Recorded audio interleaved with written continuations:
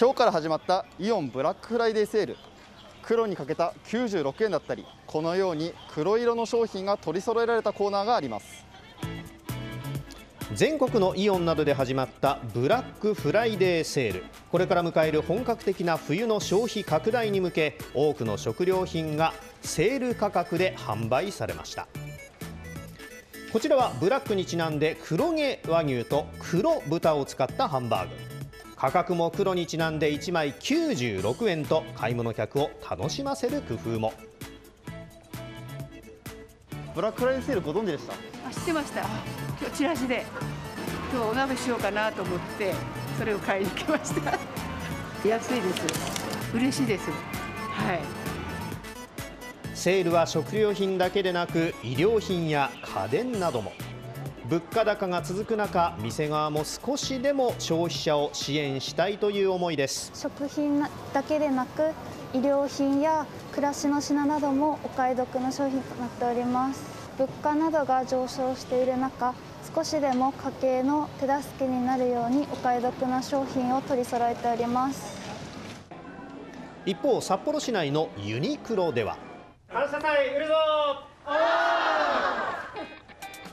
今日から始まった冬の感謝祭セール。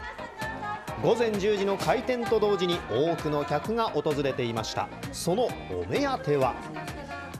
特におすすめなのがこちらのハイブリッドダウンパーカーです。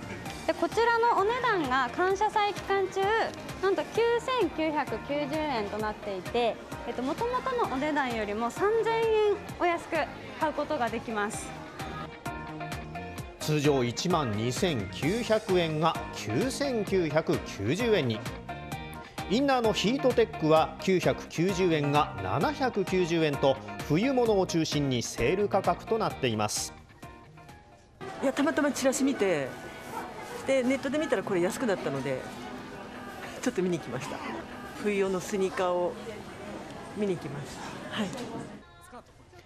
道内旅行初日というこちらのカップルは？ユニクロデートです、はい、ここからスタートしました。えっと思ったより気温が低かったのでヒートテックとかもしあれば買い足そうかなと。まあ、増税とかもあるんですけれども少しでもお客様の家計の負担にならないようにお安くあのお得にお買い物していただければと思います。物価や光熱費の高騰で膨らむ家計への負担我慢していた買い物もしばらくは楽しむことができそうです。